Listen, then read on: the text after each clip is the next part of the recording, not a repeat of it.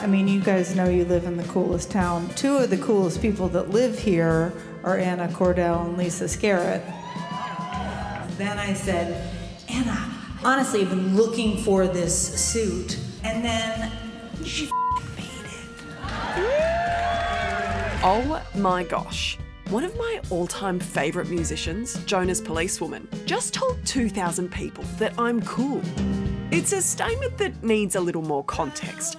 So let's go back in time to the shop of Melbourne based musician and fashion designer Anna Cordell. She's become particularly well known in these parts for her bespoke, vintage inspired suits. I surprised myself the first time I wore one. I felt really self conscious, like everyone's going to be like, ooh, you're wearing a suit.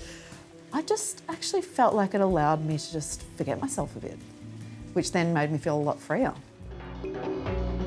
Wearing a suit is hardly a new thing.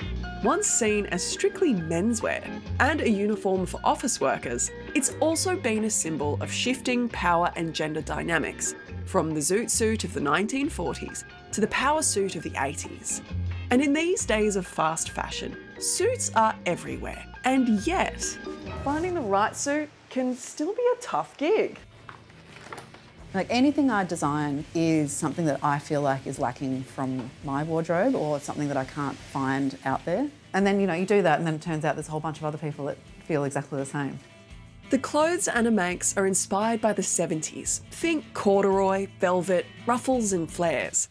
Some of her suits are even named after musicians of yesteryear, like the Nico, after German singer Nico, and the Jethro, after rock band Jethro Tull.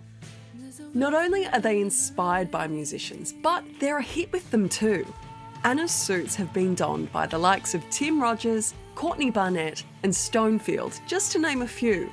I love working with musicians. I get so much inspiration from them. Just kind of working within the bounds of like what the artist wants for their particular performance or like the mood that they have for their album gives me a little structure to work around.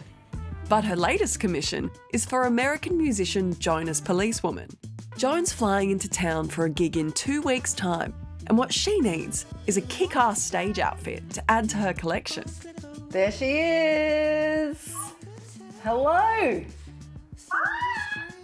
Have you got anything, like any dream fabrics or shapes in mind already? I'm looking for a short jacket, shoulder pads, like like high waist, like pleats, like pants that taper, like men, very menswear. What do you, know? think? Like a, sh- a shoulder similar to that?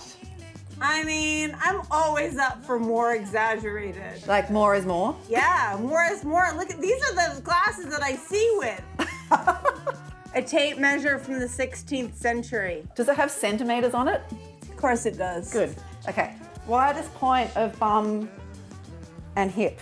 I'm doing it here. Whoa! is, this, is this right? Is that the biggest part of your bum? It's not the smallest part.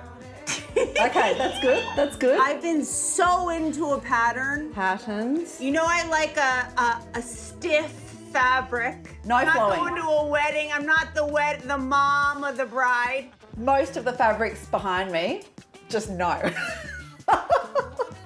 I think I'm gonna I'm gonna be doing a special shopping trip for you. I'm gonna have fun like going going on the hunt. Sweet. So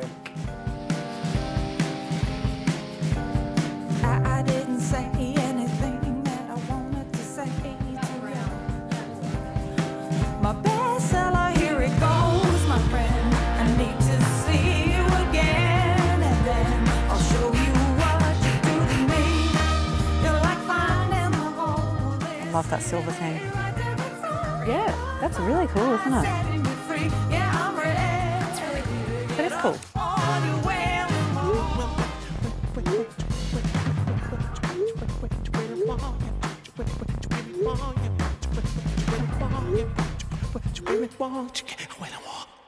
Yoo-hoo! Hi. Working with a tailor is the most important part of the whole process. This one I worked with Jung. If I've got something tricky where uh, it's almost a whole new design, He's the one that I try and call on. He's a very busy man, He's highly sought after, so I've got to fend off some of his other customers to get in. Oh, very new design. we know her long time, 20 years ago. And start work with her slowly, slowly. We are understand very clearly each other. One of the great things is he picks up on my mistakes. He's such a perfectionist, and I'm so kind of all over the place. And sometimes she forgot this word, but We work really well together. You know, like Michael Jackson. Can you picture ah, Michael yeah, yeah, Jackson's yeah. We are like friends, uh, like brother, sister. That way, very good, good team to work together. You up for it? Yeah, a little bit difficult, but more exciting for me.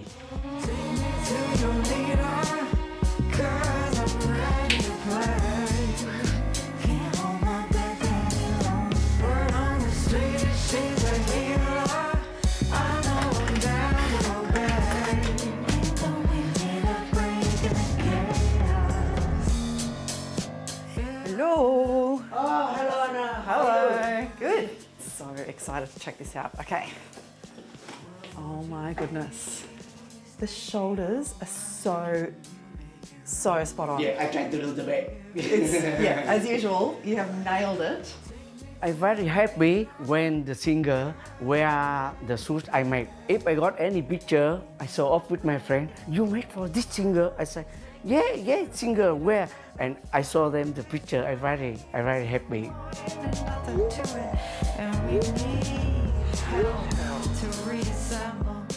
So, with only finishing touches to go and one day left before the gig, everyone is getting ready for the big suit reveal.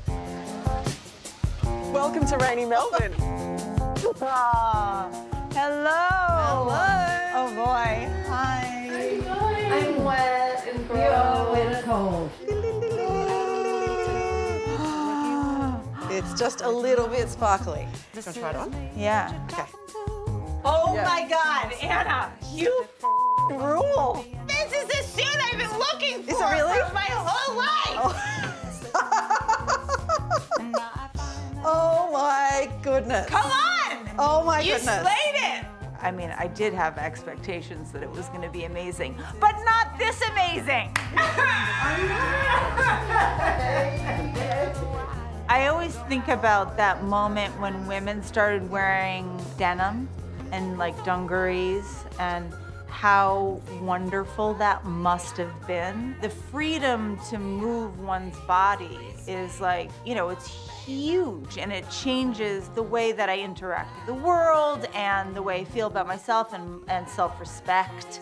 There's some sort of power. It's power. I actually can't. This feels a bit like a dream. Like I can't believe you're here and you're in it. I kind of have a, a major like relief high right now. I as bet. well. So do I. How important is fashion for a musician? I feel like if someone has left their house to come see you play, you gotta look good for them. Yeah, it's gonna make, like, great, it's gonna sound good. Guess how much better it's gonna sound if it looks good?